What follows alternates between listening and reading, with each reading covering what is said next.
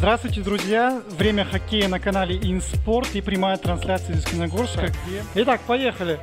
А, начали достаточно активно команды и уже на второй минуте счет в этом матче открыл Стас Петросян. От синей линии он э, бросил с кисти и шайба оказалась в воротах Антона Осокина. 0-1 на второй минуте. Потребовалось около двух минут э, хозяевам, чтобы суметь восстановить равновесие в счете. И это сделал Эрик Алдабергенов. Мы видим его прорыв по правому краю. Он срезал угол и в итоге переиграл в ближнем бою Вячеслава Ничиенко. И счет стал ничейным 1-1 на четвертой минуте первого периода.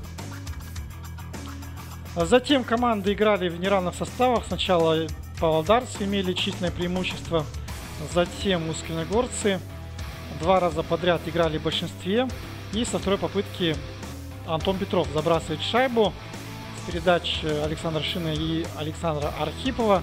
А, бросок Громова и а, передача Архипова на Петрова, который отправляет шайбу в пустые ворота.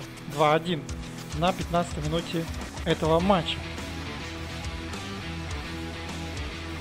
Еще в первом периоде могли полодарцы отыграться. Здесь навал на пятаке.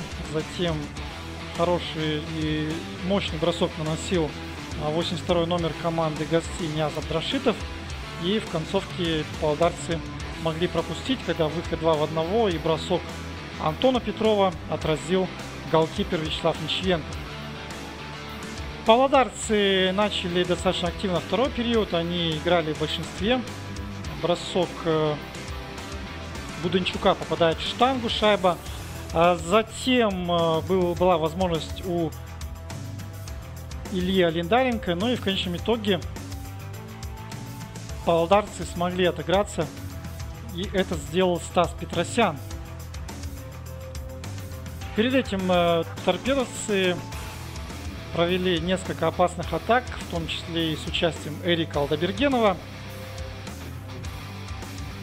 И вот э, передача от э, партнера, и в итоге Стас Петросян ставит э, эффектную точку в этой комбинации 2-2 на 29 минуте этого матча. Торпедовцы много атаковали и э, наносили броски из разных позиций. Выход 1-1 Зидаева. Попал он в голкипера. Мог вполне отличиться из зубов, но здесь фол и торпедовцы получают численное преимущество. В концовке Петров мог отличиться, но затянул с броском.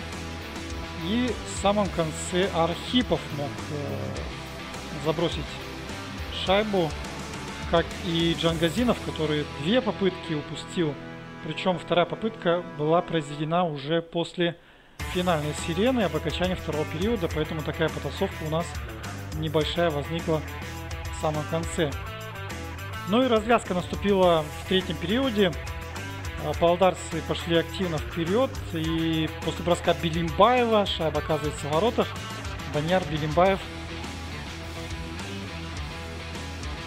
забрасывает свою первую шайбу в сезоне за команду Ертис Павлодар. Ну и, конечно, радость тренерского штаба и игроков на лавке мы с вами видим воочию. Э, затем э, упустил шанс Архипов, убегал один на один с голкипером, но переиграть э, Ниченко не сумел.